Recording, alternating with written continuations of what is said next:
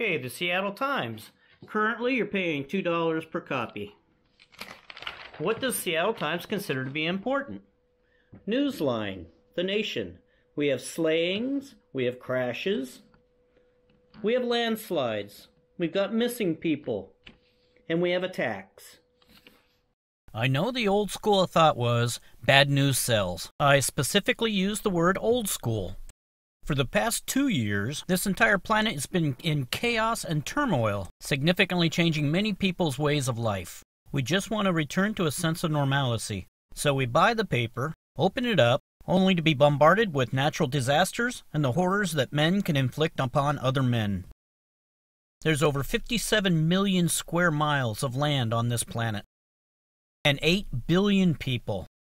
Because of this, my thought is the Seattle Times and other newspapers shouldn't have any problem finding at least one or two good stories a day to share with their subscribers. It's going to be a real shame when they go out of business because they're sticking to the old school plan of bad news sells. Take a look at your subscription rate loss and consider that's probably not a good plan anymore.